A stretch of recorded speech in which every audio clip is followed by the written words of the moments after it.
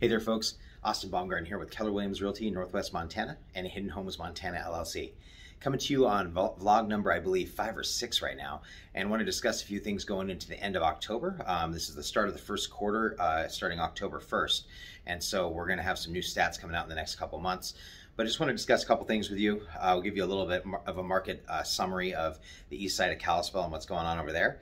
Also want to talk a little bit about the Conrad Mansion, just because it is the end of uh, the month going into Halloween, and it's kind of a spooky, uh, intriguing place in some way, shape, or form.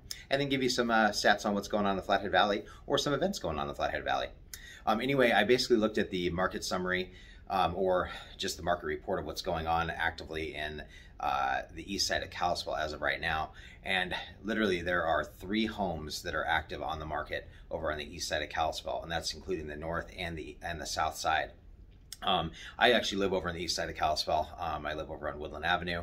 Um, it's probably one of my favorite places in the whole valley to be. Uh, it just has a lot of beautiful old mature trees and a lot of the historic district in general. Um, there are some newer houses in there, but there's a lot of remodeled houses from you know the late 1800s and above. Um, and around that, let's talk a little bit about what's going on with the Conrad Mansion because uh, I actually went for a walk over there the other day with my wife. We just kind of walked around the the whole east side and we're playing in the leaves a little bit and and checking out the Conrad Mansion in general um, and realizing they're having their spooky tours, which we'll talk about in a minute. I'll tell you when those are.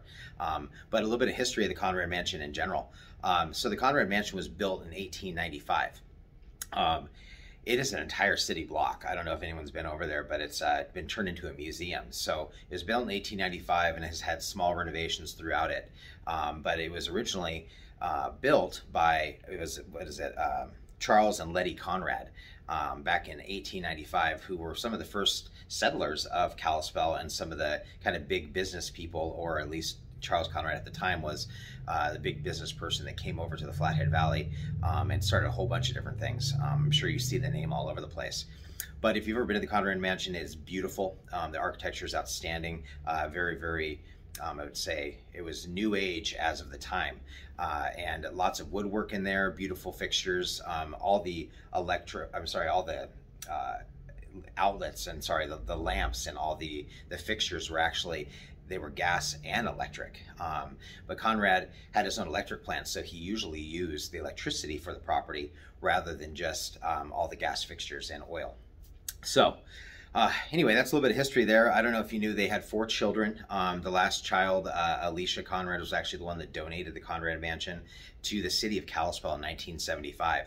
And uh, I know that seems pretty current, you know, when it comes down to it. So if you ever have a chance to go take a look at the Conrad Mansion, um, it's got some really, really wild stuff in there. And going into the Halloween season, I do want to let you know, um, I've walked through there and there's like tons of dolls and all these different reflection, reflective uh, I don't know, media in there. And so you can kind of, you know, it feels like maybe you'll see a ghost or uh, maybe you'll see a doll move or something like that. And that just creeps me out. So going into Halloween, um, I hope you're not doing too creeped out from me talking to you. But anyway, uh, wanted to also discuss with you a few things that are going on in the Flathead Valley this upcoming weekend, um, going into Halloween, but also some other productions. So uh, the Alpine Theatre Project is doing the Rocky Horror Picture Show right now, and that's all weekend.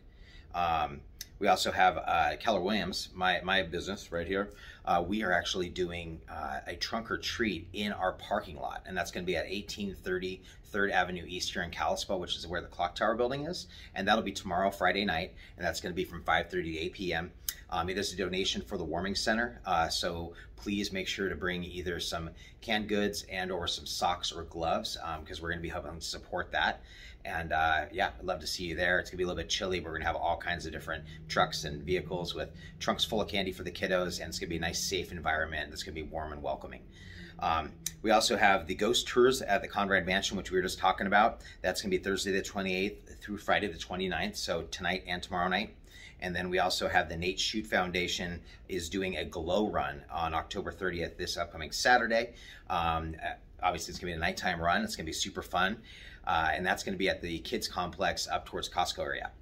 Anyway, folks, Hope you're having a great day. Um, I know it's a quick little market summary. Like I said, the east side of Kalispell right now um, has very, very low inventory. It's probably one of the most coveted areas, at least for me, um, in Kalispell in general. Uh, just beautiful, beautiful architecture. And if you have any questions about selling on the east side, I know a lot about it because I've lived there for almost 20 years. Um, please feel free to reach out to me if you need an assessment or anything. But also, with this video, please feel free to like, comment, um, share. I'd really appreciate it. I'd love to hear your feedback on what i am saying and if I'm bringing any value to you. Uh, I, I, can always take some constructive criticism as well. Hope you folks are having a fabulous day. Have a really, really safe holiday weekend, especially if you're driving up to Whitefish to have a good time. Um, otherwise, Austin Baumgarten with Keller Williams Realty, Northwest Montana, Hidden Homes Montana, over and out.